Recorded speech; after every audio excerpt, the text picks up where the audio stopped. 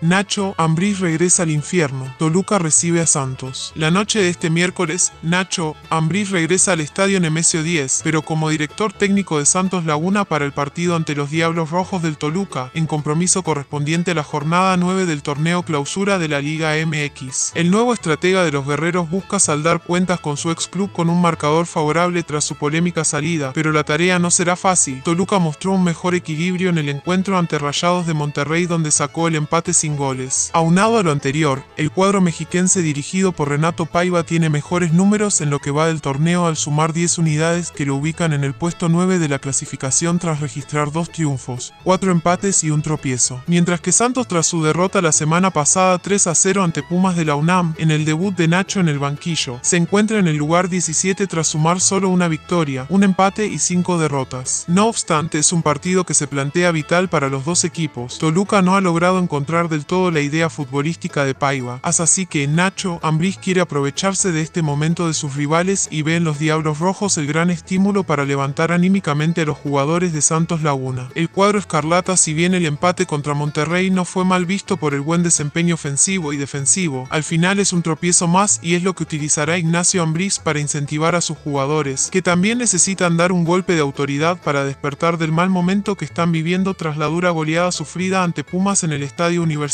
En cuanto a los jugadores que acaparan los reflectores, por Toluca está Juan Domínguez, Thiago Boulpi, que fue la figura en el partido ante Monterrey, y Robert Morales, que han marcado la diferencia en esta temporada. Domínguez y Boulpi son los máximos goleadores del equipo con 5 tantos, seguidos de Morales con 4, mientras que por Santos Laguna son Harold Preciado quien ha sido la principal amenaza ofensiva al anotar en 15 ocasiones, incluyendo 6 goles en partidos inaugurales. Está empatado en la cima de la tabla de goleadores de la Liga 2023 a 2024. El equipo dirigido por Paiva ha ganado sus dos anteriores enfrentamientos de Liga MX en el Estadio Nemesio 10 en esta temporada, León 4 a 1 y Mazatlán 4 a 1, mientras que Santos Laguna buscará su primera victoria de la temporada fuera de casa.